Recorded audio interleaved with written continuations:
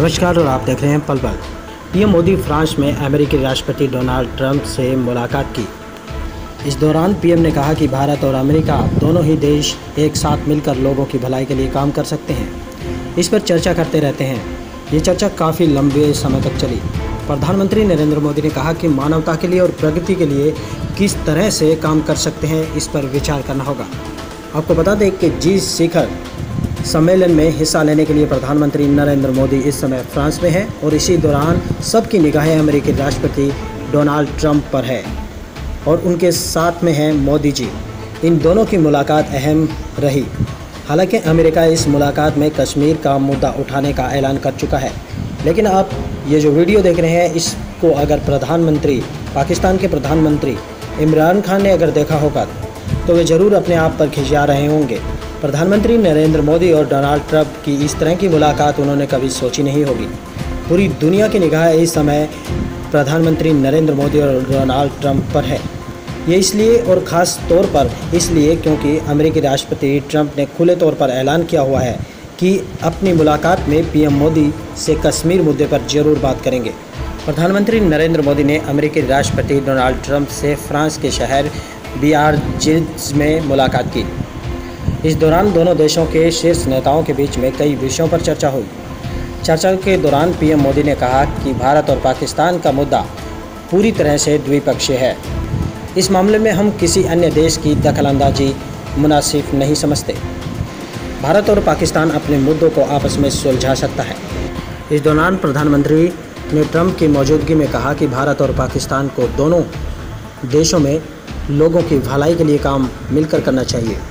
कश्मीर मुद्दे पर प्रधानमंत्री नरेंद्र मोदी ने कहा कि भारत और पाकिस्तान के बीच में दोनों पक्ष का मुद्दा है किसी तीसरे देश को क्रश देना नहीं चाहता भारत अब देखें पल पल की एक खास report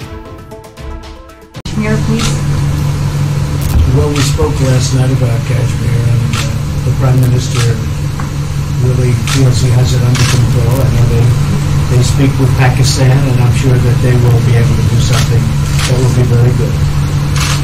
I spoke about it last night at Guru. Mr. Modi, do you want to add?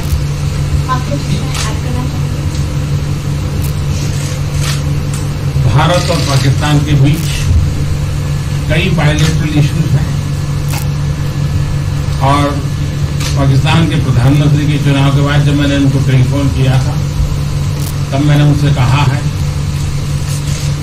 कि पाकिस्तान को भी गरीबी के खिलाफ लड़ना है भारत को भी गरीबी के खिलाफ लड़ना है पाकिस्तान को भी अशिक्षा के खिलाफ लड़ना है, भारत को भी अशिक्षा के खिलाफ लड़ना है।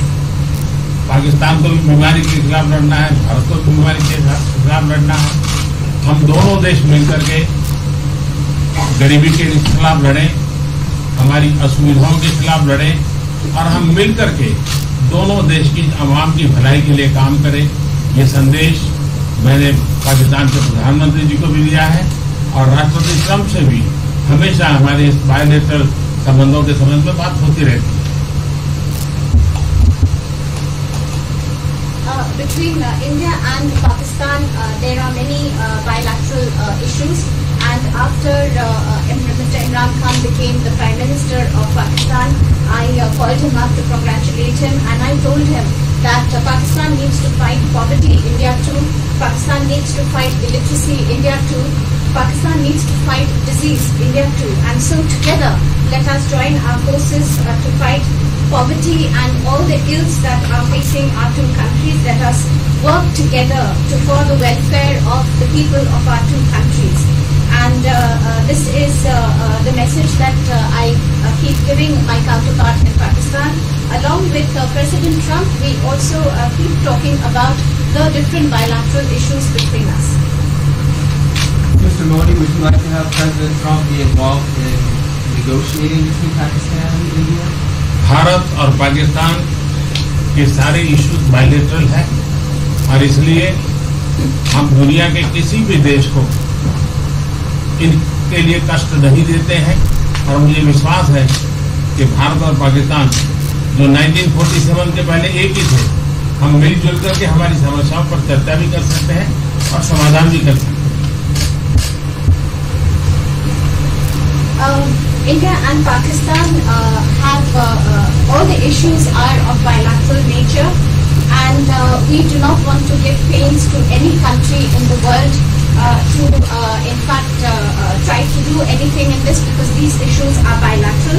And I trust that before 1947, when we were one country, that even afterwards we can find solutions through discussions. Mr. President, that offer I'm here.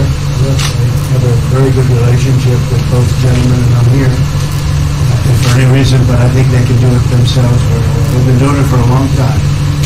President, the Chinese have said today publicly that uh, it's more low-level calls that have happened and they're downplaying the significance of the calls the U.S. I don't- I don't know what you mean by that. Low level, uh, the vice premier is low level, I don't think so. It's What's in your mind, a low level? Can- And what is the position of the gentleman who was quoted in the newspaper today? Well, the Vice Premier, Liu, came out with very significant statements, and we've been communicating uh, through intermediaries back and forth with him. That's the vice premier of China. Yes, sir, I understand. I- That's not low level. I understand, I agree. Uh, I was just, uh, there was a statement that the the spokesman for the foreign ministry, for instance, said they I don't know weren't aware of the calls happening. I don't know about his There's sources there's been communication going at at the highest level, Thank you, Mr. at the President. highest level. Can you clarify the calls, No, I don't. We don't- we don't wanna go into- we don't wanna go into Hey, look, in the meantime, our country is doing great. We're doing great. The uh, Prime Minister just congratulated me. Everybody that's met has congratulated us on the job we're doing in the United States with our economy. Our economy is phenomenal, best it's ever been.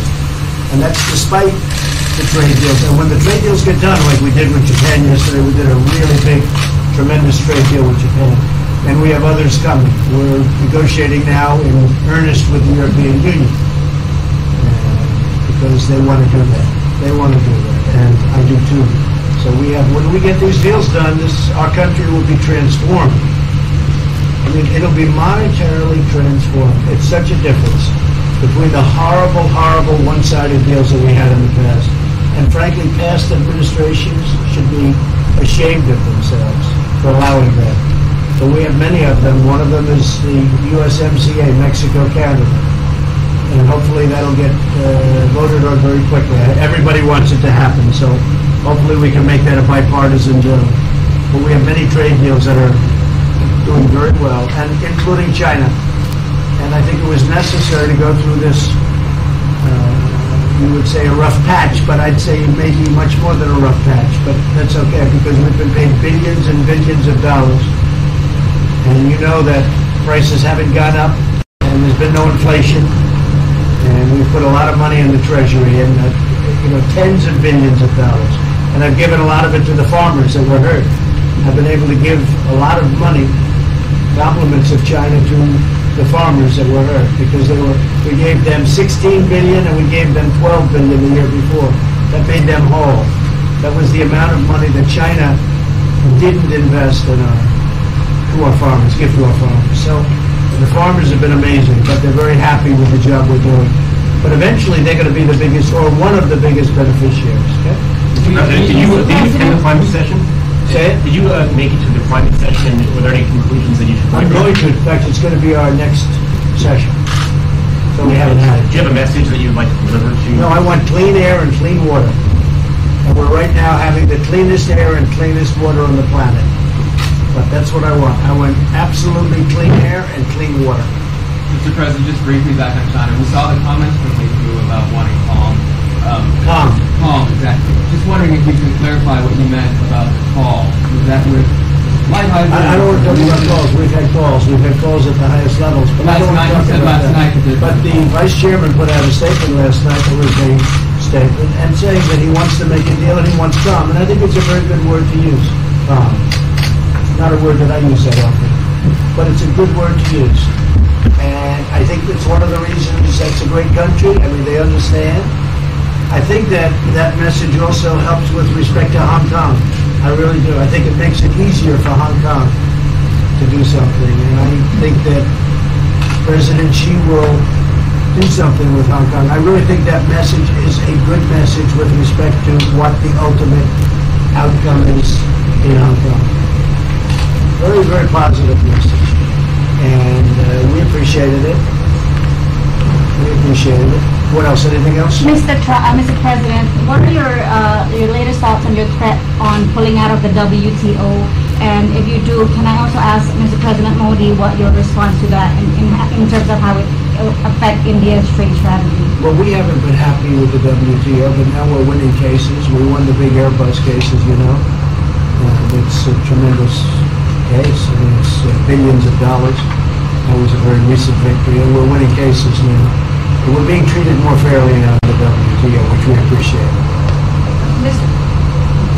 मुझे लगता है कि हम दोनों को बात करेंगे हम दोनों बात करते रहेंगे जब जरूरत पड़ेगी आप लोगों को जरूर जानकारी पहुंचाएंगे He actually speaks very good English. We just don't want to talk. I think, I think that uh, you should uh, let us uh, discuss these things and when we feel need, we will communicate to you.